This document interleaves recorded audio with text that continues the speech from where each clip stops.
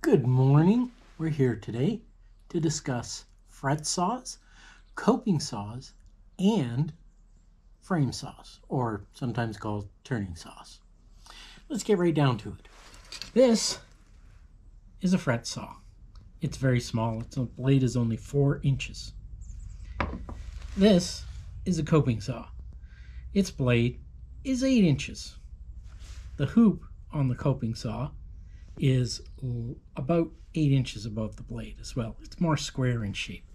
Fret saw, more rectangular. Fret saw is for doing teeny little things.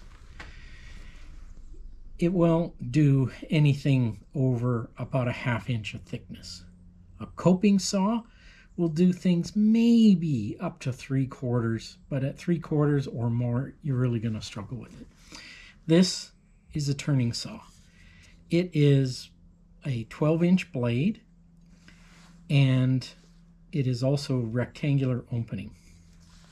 It will do wood over an inch thick, maybe two inches with some struggle. But anything between inch and a half or smaller, this is the bomb. These saws, all three of these saws are operated in exactly the same manner the right hand holds the handle loosely. It's not a death grip. It's just a gentle little open-handed grip. All it's going to be doing is pulling the saw back and forth. The left hand rests on this bar. It just holds the bar in position. And as you raise and lower the left hand, it changes the angle of the blade so that that way you're not struggling against yourself and getting all kinds of wobbles. The blade is just going to go neatly back and forth, held neatly in place by the left hand, just holding the weight of the saw at the right angle. So to begin a cut, we begin with the blade parallel to the surface and about 90 degrees into it just to get the cut started. You can use your fret saw, coping saw, turning saw, frame saw, or bow saw on either the push stroke or the pull stroke. Right now, I've got this one set for the push stroke. Okay, now my blade is started. So now I get my angle matching my line. And then we can just begin with the power from the right hand. I'm not pushing very much with the right hand, just very gently.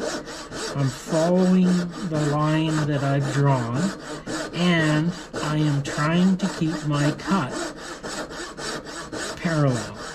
That is, the front and the back are entering the wood at the same distance from the edge, right along my scribed line.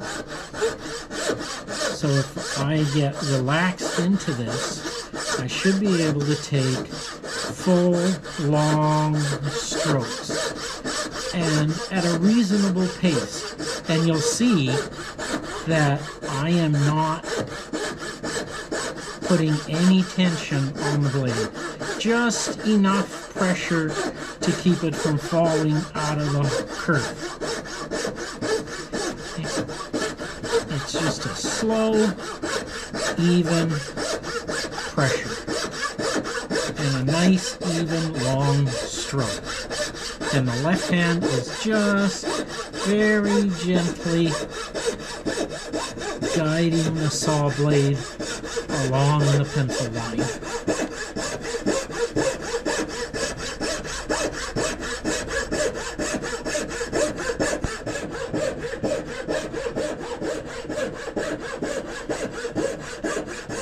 Left hand, just making very slow, gentle adjustments.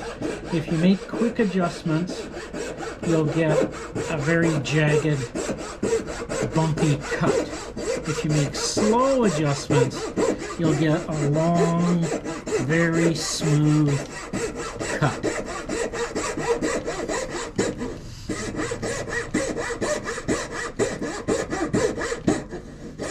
Pretty cold here this morning. About minus two degrees. My shop is unheated.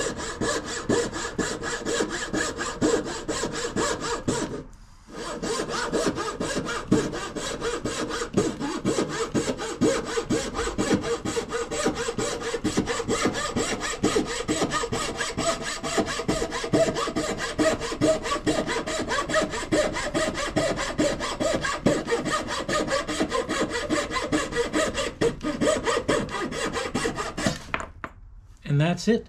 The cut is through, and you can see that it's pretty even and smooth. A quick touch up, just a quick touch up with a file, and it'll be perfect. Thank you.